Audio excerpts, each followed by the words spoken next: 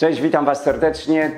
Dzisiaj o Narodowej Gali Boksu. Nie mówiłem o niej wcześniej, bo nie chciałem zapeszyć. Życzyłem e, Marcinowi Najmanowi, żeby to się udało, ale chyba nie za bardzo się udało. Przygotujcie się Państwo na wielkie grzmoty.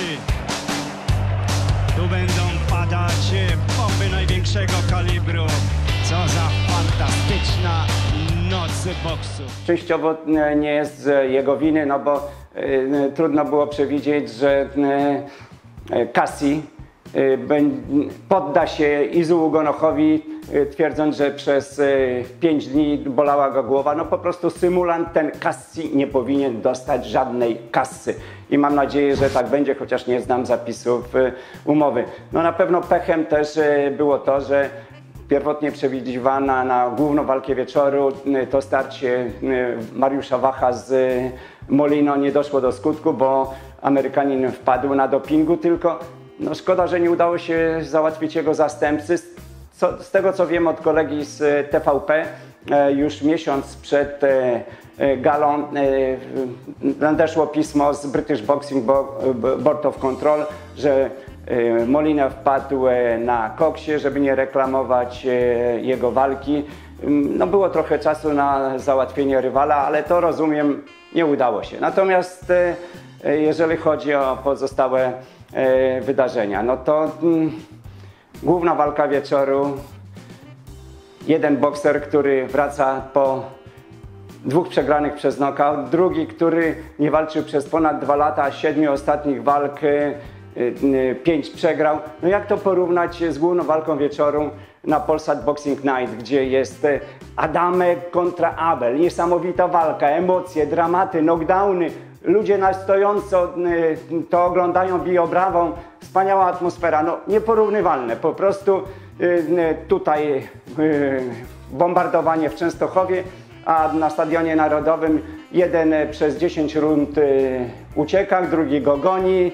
E, Ten, który był goniony trzy razy e, rusza do ataku i potem przyciska hamulec, znów się cofa. No, emocji m, tam było niewiele. No, druga z tych e, bardzo reklamowanych na Stadionie Narodowym, czyli Marcin Najman z Łotyszem. Em, Marcin, który nie walczył ponad e, 4 lata, Łotysz, przeciętny bokser, też nie walczył ponad 2 lata, kontuzja barku Marcina, no niektórzy zarzucali mu, że symuluje. Ja tak e, nie powiem, nigdy nie powiem, bo on sam tylko wie, e, nie ma dowodów na to, że było, no ale porównajcie to z walką w Częstochowie na Polsat Boxing Night Kalenga kontra Masternak. No po prostu nieporównywalne absolutnie widowisko. Możecie mi powiedzieć, że jestem nieobiektywny, bo ja komentowałem tamto wydarzenie, teraz nie oglądałem to w telewizorze, no ale mam prawo tak uważać, możecie się zgadzać e, albo nie. E,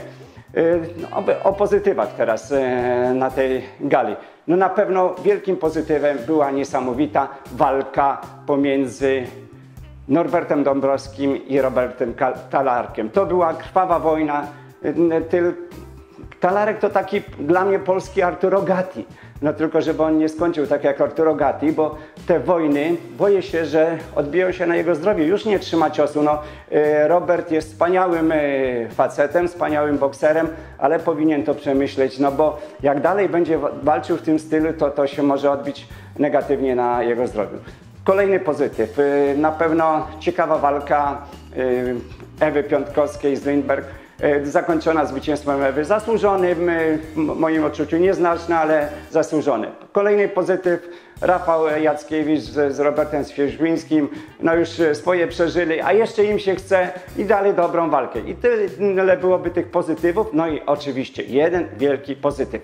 To jest występ Michaela Buffera. No, on wypowiedział te swoje let's get ready to rumble, ale te grzmoty to były największe w tej walce, której nie zapowiadał, czyli y, Talarka z Norbertem y, Dąbrowskim. Chyba się trochę męczył ten buffer. No, niedawno komentowałem y, jego historyczną walkę. Czwarty pojedynek y, Mike'a Tysona z Ricardo Spainem.